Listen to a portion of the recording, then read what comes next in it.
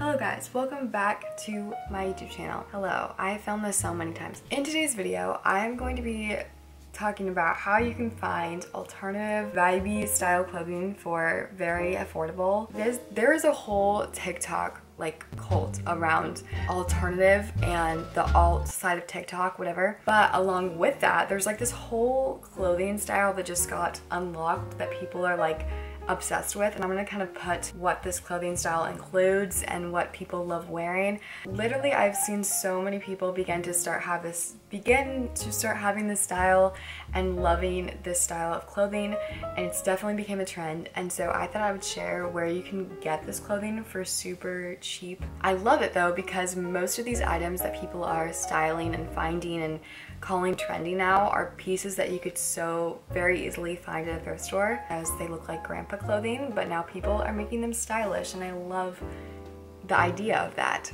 Here are a couple websites. Most of these are ethical and sustainable. Some of these are fast fashion. But yeah, here are other websites to find these sort of items if you don't necessarily like thrifting. Here are ways to shop alt or alternative indie on a budget. Let's get started.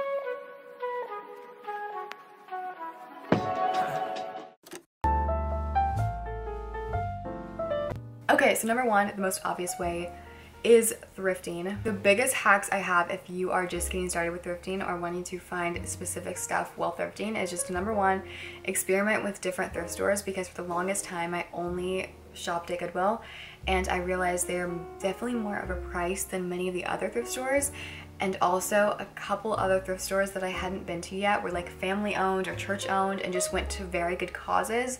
So once I started experimenting, I found definitely totally different stuff and I supported other causes while thrifting. So it was just a good experience to try other thrift stores and to give your money to different places that support good causes. So try out different thrift stores is a good tip. Also number two is go to different sections of the thrift store. So I before would just stay in my tiny little women's section or whatever. But once I started going out throughout the store, I realized in the men's section they have so much better like sweatshirts and oversized t-shirts, graphic tees, that whole stuff. Levi jeans, I found so many low-waisted Levi jeans in the men's section at Goodwill, so definitely look at that. Or Argyle print stuff, sweater vests, they have all those type of stuff in the men's section at the thrift store. Love that, so that is a little tip for thrifting. Number two, if you don't like thrifting in person, like I mentioned, um, shopgoodwill.com online is another great option. Here you can find really great stuff, again, for super affordable. They have buy it now stuff or they have like bidding and auctions available. They also have designer, like nice stuff, like Prada bags and stuff that's up for auction and it's pretty affordable for what you consider like what Prada normally costs and it's all authentic. They will give a certificate and say in the description that like this is authenticated by professionals and it will say this like it's been looked over whatever so you know you're getting a real bag instead of like or if you're thrifting in person you might not know if it's real or fake if that makes sense. Okay another good option is ebay and this is great for lower price designer bags like coach and juicy couture. They have tons of these on the ebay website and the cutest handbags and mini bags, shoulder bags, because that's like a huge trend right now is like the shoulder bag thing.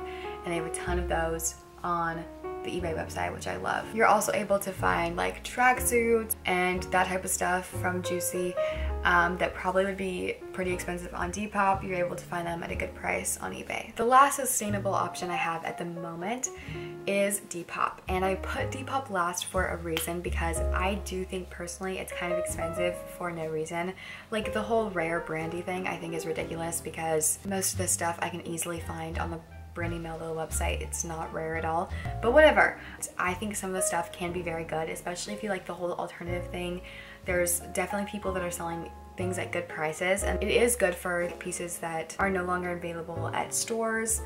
Um, vintage goods, Depop is the place. It is the most expensive option out of all of them that I mentioned, but it is good as a last resort if you're really looking for something specific that stores don't have anymore. Okay, now we're gonna move into some not sustainable ethical ways to buy clothing just because these are more for specific items, but I'm very sorry that these are more fast fashion.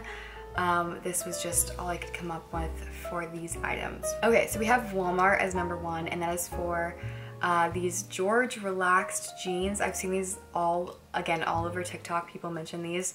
They're $10, which is so cheap and affordable. And they come in two different washes. And again, they are like men's jeans, but they look like good quality. And a good life hack, if they don't fit your waist, is to buy a pack of jean buttons from Walmart. It's like three to five dollars, and they come with like six, and you can just pin them in your jeans put um, the top on them and it will just adjust your jeans so you can button them tighter to fit your waist better since they are, like I mentioned, men's jeans.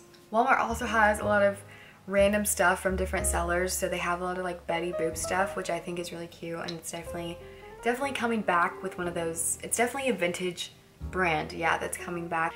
And um, they have a lot of stuff there. So that is another another option. I feel like Walmart always has like secret goods that people are like going crazy over on TikTok. So, okay, another fast fashion, not sustainable option. I don't think, I don't think they're sustainable is Amazon. They have these tennis skirts and they're like $15 because tennis skirts have been like a huge thing right now. I don't even know if tennis skirt is the right word for it, but these like ruffle mini skirts, schoolgirl skirts, I guess is a better word for it. And they're $15 on Amazon. They come in so many different colors um, and sizes, which is really great. And so that is another option if you're kind of going for this schoolgirl preppy look. Okay, the last thing I have that's also not sustainable. I actually I don't know if this store is ethical or not. I don't know if they're more fast fashion, but Cabela's. I went there in person and me and my sister found a lot of the I feel like I'm gonna say this wrong, the Bass Pro Shop hats and they were like $2.99 or $3.99 which is so cheap because literally like so many influencers have been wearing this hat and I thought it was like gonna be like 30 or 40 bucks and it's three dollars and you can get it on the Cabela's website and they have all the different colors different styles of it and it's literally four bucks so cheap and I thought that was just a little quick hack to get something cute for cheap.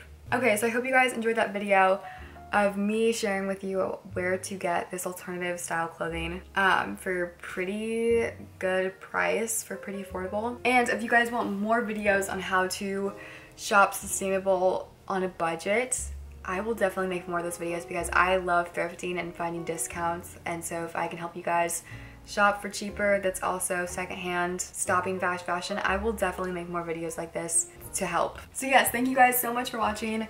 Um, and I will see you guys next time.